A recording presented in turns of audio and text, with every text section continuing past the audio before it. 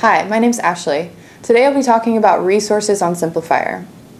Simplifier is a FHIR registry that allows you to upload and share resources with the FHIR community. You can do this by searching publicly available projects, or you can create your own project and upload resources to share with your team in private projects. Today we'll be talking about how you can explore what's available on Simplifier, how you can upload your own resources, and how you can share those. Let's get started by exploring the Simplifier FHIR Registry. From the Simplifier homepage, click on Explore the Registry. In this registry, you can share anything from value sets to example resources to profiles. To get started, let's filter our search results. So I know I want to see resources. I can specify the FHIR versioning, so let's say STU3 let's limit our search results to profiles. And then here, under FHIR status, you have an option to select which FHIR status you're interested in. I only want to look at active material. I'm not interested in anything that's retired or a draft profile. So I'll select the first one here, zib medication agreement. Here you can see a little bit of information about the resource. I can see that this is part of the project that Nictiz has created called Nictiz STU3. This is a profile on the medication request resource. And here below you have a few different options to learn more about the resource.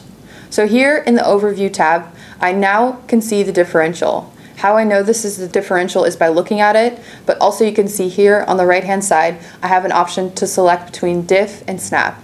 The differential shows you everything that's changed in the profile in comparison to the resource that's mentioned in the specification. So this is everything that's been edited from the original resource. If I want to see everything that's contained in this resource, then I go to the snap. This is short for snapshot.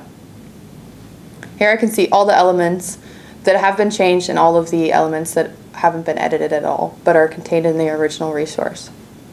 So that's the overview tab. If I want to go over to details, I can see a detailed description for each element in my resource. If I go to mappings, I have a detailed listing of the mappings for this resource. A table depiction of my resource. Here I can see the XML, JSON, and I can also see the history of changes. So this is a way for me to know the changes that have happened to this resource uh, in this project. So you can see that the most recent update was on October 2nd, 2017 by a user that I'm I, I don't know who that is, but I can see that that's that this version has been uploaded by them. If you're logged in or you're looking at resources in your own account, then you probably have a little bit more functionality and you can see exactly which member of your group made changes to your resources. So that's really handy for tracking. But at this moment, I'm not logged in. I'm just searching publicly available resources. So this is what I have um, this is what's visible for me. Um, here at the top, you see a little bit more information. You can see that this is a profile and medication request, as I mentioned before. You can see the, the FHIR versioning, which we know that I limited my search results, so uh, I only saw STU3 results, but if you were, uh, if you didn't select that option, then this is very handy to see which versioning. Um, this is the final status of this, and this is the first version. Uh, I have additional functionality with resources. I can download the resources. I can download as XML or JSON. I can copy them to my clipboard for further editing. And I also have uh, access to the endpoints of these uh, resources. So I can use that with my uh, FHIR client, and then you can go directly to the resource that you're referring to, um, whether they're my resources or resources that are public, publicly available. So that's a little bit about how you can explore the resources on Simplifier. Simplifier was originally created as a, as a portal to share uh, resources that you've created with the community. So we hope that you are doing that. We hope that you're looking at what's available on Simplifier and we hope that you're finding what you're looking for.